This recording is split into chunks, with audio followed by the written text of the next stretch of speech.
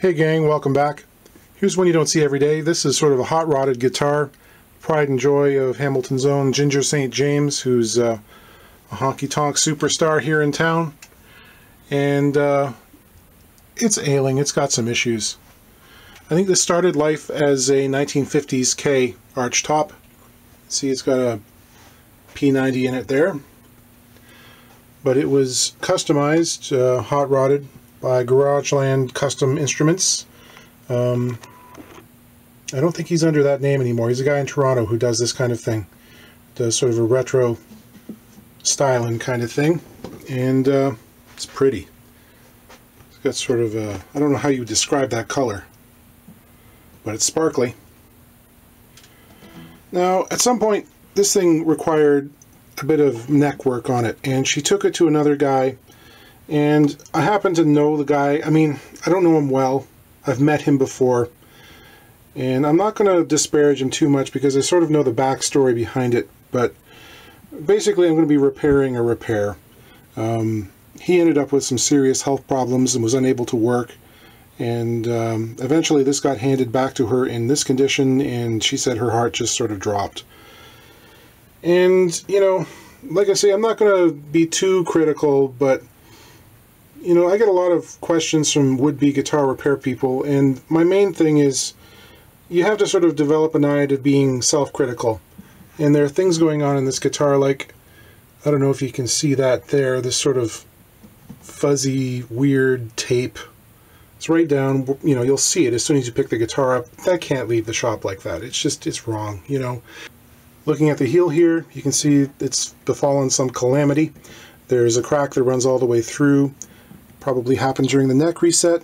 Some of you will recall that Gibson I did a couple of months back where something similar happened. It does happen. You know, if there sometimes there can be a latent check in the end grain here or just it may have taken a fall at some point. You start pulling on the neck to take it out. This half stays in the guitar, this half breaks free. Um, there's also a little bit of a lacquer check there as well underneath it, which I don't think goes through. They both have some super glue over top of them. It's proud of the surface. Looking at the face of the heel, what is that? I don't know. Um, it's concerning. It doesn't feel like wood, feels like plaster or maybe epoxy putty or something. And it's concerning because I don't know what that hides. Uh, we'll try to fill it up a little bit as best we can. I don't think I'm ever going to be able to match this color, obviously, but We'll try to make it look a little less glaring. There's another chip on the back of the neck here around the fourth or fifth position that really bugs me too when I run my hand up. So to have to fill that. Uh, back of the guitar, there's some honest belt buckle wear, which is fine. It's what you expect. So if this is the after of the neck reset, I wonder what the before looked like. Now something went wrong along the way, obviously, because this guy here is about 11 64ths, that's almost four and a half millimeters on the bass side, and just over 8 64ths on the treble. So that is literally twice as high as I would feel comfortable having it. So we got to take a lot off this.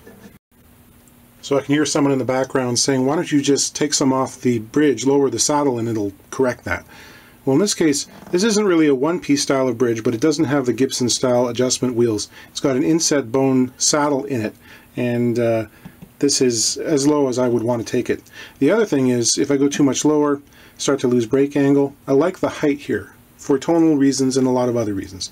The other thing is we've got a non-adjustable dog ear style P90, and if I take off enough material off this bridge to lower the, the saddle to where it should be, I run the risk of basically banging those strings right into the top of the pole pieces. So I have to be careful with the geometry. It, it basically, this bridge has to stay the height that it is. Uh, so I'm left with the only choice being to do a neck reset. When you get into repairing a repair, there's always fun stuff in store. I don't know what's gone on inside there. I will say that it makes some funny, snappy, crackly, poppy sounds. If seems like it's loose somewhere inside. Well, now that's interesting. Happy days. I see the head of a quarter 20 furniture bolt. So this thing has been bolted on somehow. That's good. Why is it good? Because that means that in the wor very worst case scenario, I can come along and just cut this off and do the Kung Fu neck reset. Because if it's already been bolted on once, I have no compunction against keeping it as a bolt-on, and I'm certainly not going to go to try and restore this as a dovetail style instrument. Just does not make sense. Way too much work. Um, so hopefully this thing is just going to come right off. Right. I don't want the tail piece flopping around while I'm doing work, so I'm going to take it off. And you should be careful while you're doing this because hopefully there'll be a grounding wire that'll come out somewhere underneath the plate here that'll ground both the tailpiece and the strings. And sometimes it'll pop right down the hole again when the tailpiece comes off. So we should be careful.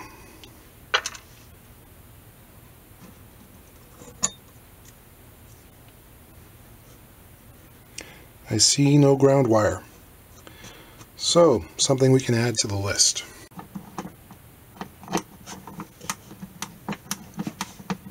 This is a comically long screw.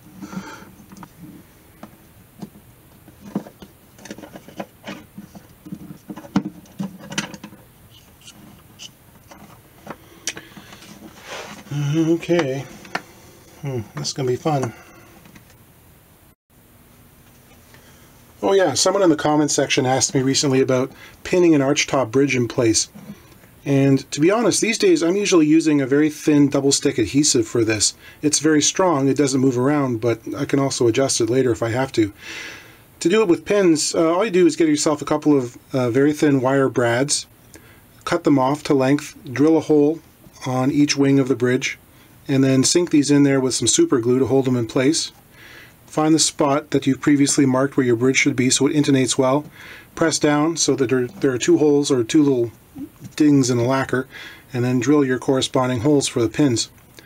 Now I checked this before I took the strings off and interestingly it was intonating not so great. So I mean that might be a function of the extremely high action or it could also be that uh, it was originally set for different strings.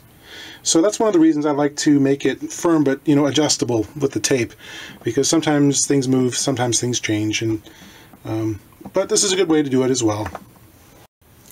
Just looking at the pickup here, it says TSB91. Don't know what that is. Maybe we can look that up. Now I don't want to desolder this pickup unless I have to, so I'm just going to wrap it up here with some paper towels and uh, do some tape. I'm just going to put it on the inside in the cavity. Um, hopefully where it'll stay out of the way. It's nice, they've done a little bit of a pigtail here so there's extra wire. If I have to get at that switch I can. Won't be too difficult.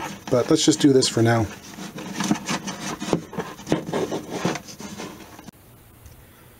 There's a bolt head. There are actually two of them in there. They're just standard quarter 20 furniture type bolts. So we'll get in there with the Allen wrench. See if we can find the head. We'll do the top one first.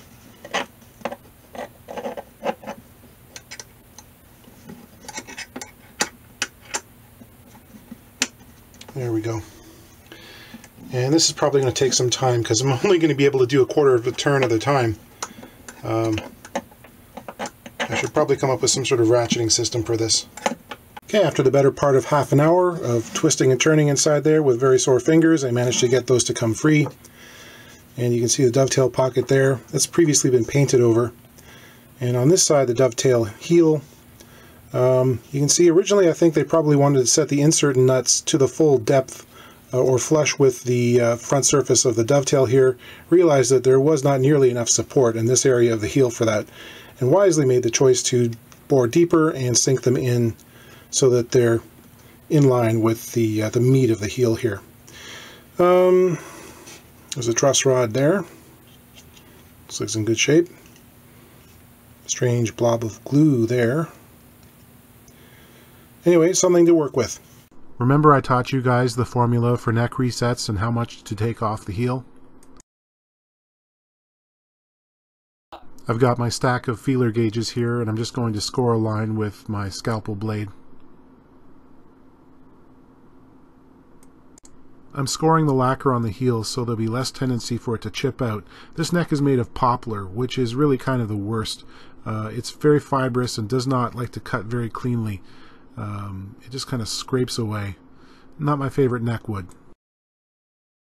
We'll proceed to sandpaper pulls to refine the fit and the angle.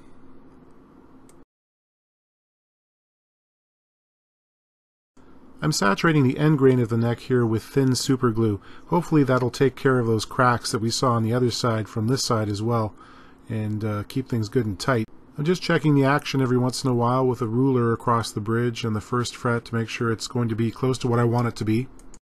It's hard to convey just how far away those bolt heads are from the entrance here. It's not like working through a standard sound hole. And especially the lower bolt there, in order to get this lined up, I couldn't really use the extended handle and it was nice in that I could sort of if I used the standard one I could turn it all the way around in there but that also required me to do some pretty dexterous things and it just took an awful lot of patience. Okay, I put some strings on to see how the action is doing. Um, that's important. You've got to try it out before you finalize things. And I got to say, I'm pretty happy with the way it turned out. Uh, I'm just about where I want it to be, right in the center. It's a little bit uh, low on the treble side and a little bit high on the bass side by about a 64th of an inch in either case. Um, that's less than half a millimeter. I know I can change that enough with uh, saddle adjustment here. I can shim up on the treble and maybe take a little bit off on the bass and we'll get good action. That's what I wanted. Uh, let me tell you folks, working with that where you have to take off and put on the neck several times with those bolts in the location they are, that's no fun. Yeah, note to self, do not make a guitar this way. That's not it's not repair friendly.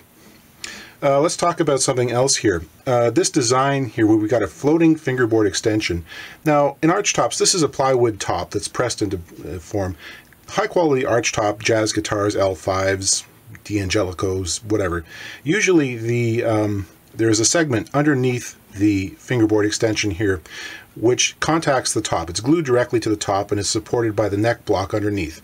In this case, there is a space. It starts off by about a 60, 16th of an inch or so, and actually mm, sort of falls away to nothing at the end here. Um, I'm not sure if that guitar was always this way or whether that's sort of a relic of the uh, the neck reset it previously had. In either case, that's not a good idea. We have to fill that up because there's an awful lot of tension going on right here on the 14th fret. All that folding force from the string tension wants to bend things, and it acts like a teeter-totter you know, a lever. If there's a gap underneath here, there's the fingerboard extension is eventually going to fall down and it's going to raise the action. So what I'm doing is I'm using some spruce shims here, they're tapered, and I'm going to put those into place. They fit snugly and they go in about three quarters of an inch. And um, I'm going to glue those in place with a little bit of epoxy. Um, you know, it's it's if this ever has to come undone again, it won't be that difficult to get them out. But we do want to make sure it's secure to both the underside of the fingerboard extension and to the top, so that that problem we had previously is not going to resurface. We hope. With the strings on, I can tell there's some things we got to do to this nut as well. Several of the strings buzz when open. They play cleanly when I fret them. That means that the slots are too low.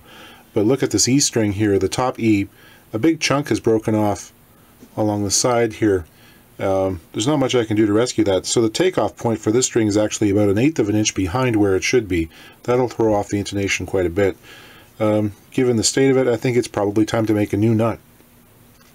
I made the new nut and I didn't film it this time. You can go back and watch the full half hour video I made of making a nut uh, several months ago if you want to see me do that. And here I'm just gluing in those shims with some epoxy be very careful about cutting those right up against the line of the fretboard here and I'll color those afterwards with some paint and some dye just to make them approximate the body color. Just removing a little bit of material on the bass side of the saddle here to improve the action. To take care of that big jagged dent on the back of the neck, I used super glue for a drop fill, then added a little bit of blue paint and added more super glue on top there to level it out with the rest of the surface. Here I'm drilling a hole through the end block in the area where the tailpiece will cover for a grounding wire. Feed that all the way through and pull it out through the pickup cavity hole and I can uh, take out the jack as well, solder on the grounding wire in the place where we normally solder grounding wires, pull that back out through the hole, shorten it, peel off the insulation, put a little crimp in it there, and the tailpiece will then squash that up against the body, making good contact and grounding both the strings and the tailpiece itself. Did a little rudimentary color work here with some transparent blue over top of the patched and filled in hole there. I leveled those areas which I filled with super glue using a razor blade scraper and progressively finer sandpaper. Smoothed that up so that it felt good on the hand. And I think we're going to call that done. It's got good low action, plays nicely. The heel, no, that's not the same color. It was never going to be the same color, but it is smoother than it was. Doesn't uh, have those great big gashes in it. And the stuff on the back of the neck is much smoother and doesn't get in the way of playing. So I'm happy with that.